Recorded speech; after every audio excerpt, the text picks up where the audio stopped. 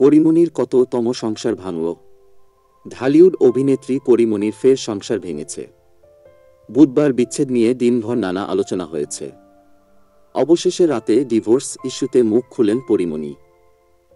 ফেসবুকে অভিনেতা শরীফুল রাজকে ডিভোর্স দেওয়ার খবরটি নিশ্চিত করেছেন তিনি।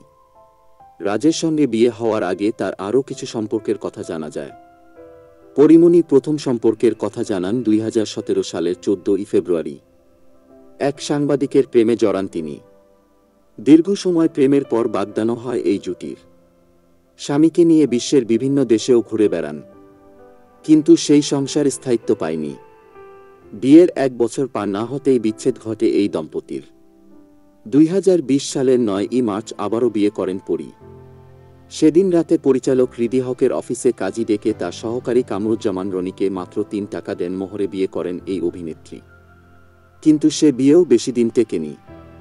বেশ ঢাকঢোল পিটিয়ে সেই বিয়ের খবর জানালেও নীরবেই বিচ্ছেদের পথে হাঁটেন এই জুটি।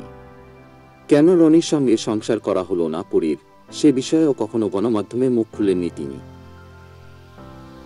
সর্বশেষ ঢাকায় সিনেমার অভিনেতা শরীফুল রাজকে দুই হাজার একুশ সালের সতেরোই অক্টোবর গোপনে বিয়ে করেন পরিমণি। মাত্র সাত দিনের পরিচয়ে বিয়ে করেছিলেন তারা। সেই খবর প্রকাশ্যে আনেন দুই হাজার বাইশ সালের দশই জানুয়ারি। এই সংসারও দুই বছরের মাথায় ভেঙে গেল অভিনেত্রীর। স্বামীর বিরুদ্ধে একাধিক অভিযোগ তুলে শরীফুল রাজকে ডিভোর্স লেটার পাঠিয়েছেন পরিমণি। এই তিনটি বিয়ে ও সংসার ভাঙনের খবরে পরিব্যাপক আলোচিত হলেও তাকে ঘিরে আরও কিছু বিয়ের খবর বিভিন্ন সময়েই প্রকাশ পেয়েছে সামাজিক যোগাযোগ মাধ্যমে। দুই হাজার ষোলো সালের শুরুর দিকে হঠাৎ ফেসবুকে ভাইরাল হয় পরির সঙ্গে দুজনের বিয়ের খবর। এমনকি বিয়ের ছবি, কাবিননামা ও তালাকনামার ছবিও প্রকাশ পায় সে সময়।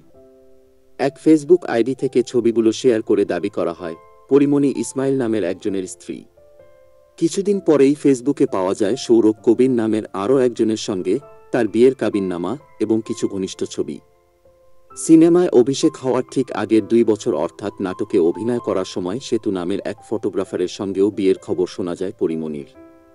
তাদের নাকি দুই বছরের সংসারও ছিল। যদিও এই বিয়েগুলো সম্পর্কে কখনোই মুখ খুলেননি পরি। একাধিকবার তার বক্তব্য নেওয়ার চেষ্টা করা হলেও বরাবরই এ প্রসঙ্গ এড়িয়ে গেছেন তিনি। সর্বশেষ সংসার ভাঙা নিয়ে মুখ খুলেছেন তিনি। বুধবার রাতে পুরনো এক ফেসবুক স্ট্যাটাসের ছবি পোস্ট করে পরিমণি লিখেছেন, নিশ্চয়ই এই স্ট্যাটাসের কথা মনে আছে অনেকেরই। সে সময়ও রাজ পাঁচ দিনের মাথায় বাসায় ফিরে আমার ফেসবুক থেকে এটা ডিলিট করে দিয়েছিল। তারপরও এসব ঘটনা সে পুনরাবৃত্তি করে গেছে বারবার। পরিমণি লেখেন, সরি বলা, না খেয়ে থাকা পা ধরে মাফ করে দাও, আর হবে হবে না। এমনকি সুইসাইডের মতো হুমকিতেও ব্ল্যাকমেইলের শিকার হতে হয়েছে আমাকে। একই রকম ভুলের ক্ষমা কতবার করা যায়, আমি জানি না। অভিনেত্রী আরও লেখেন, আমি শুধু সব ভুলে সুন্দর, স্বাভাবিক একটা পারিবারিক সম্পর্ক চেয়েছিলাম। কিন্তু সে কখনোই এই সম্পর্কটাকে ধারণ করেনি। সবার সামনে আমার বউ, আমার বাচ্চা করে বেড়ানো ভয়ঙ্কর একজন মানুষ। যে কিনা এই সম্পর্কটাকে শুধু নিজের স্বার্থে ব্যবহার করে গেল প্রতিনিয়ত।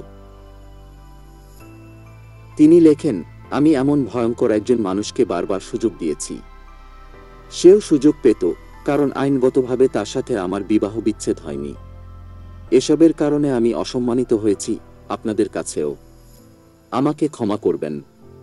বিচ্ছেদ বিষয়ে পড়ি লিখেছেন, আমি তাকে অফিসিয়ালি ডিভোর্স দিয়েছি। খুবই স্বাভাবিক মাধ্যমে। এটাও তাকে আমার এক প্রকার ক্ষমা করে দেওয়া। না হয় সে আমার সাথে যে অন্যায়গুলো করেছে, তাতে তার জেল হওয়ার কথা। স্বামীকে ডিভোর্স দেওয়ার পরে সন্তানের যাবতীয় দায়িত্ব নিজেই পালন করতে চান পড়ি সেটা উল্লেখ করে তিনি লিখেছেন, আমার ছেলের যাবতীয় খরচ মানে ভরণ পোষণ থেকে আগামীতে পড়াশোনা যা কিছু আছে, সব আমি বহন করব। এতদিন যেভাবে করেছি, বাচ্চার সমস্ত অভিভাবকের দায়িত্ব এখন তার মায়ের। এ বিষয়ে যা কিছু বলার আমার আইনজীবীরা বলবেন।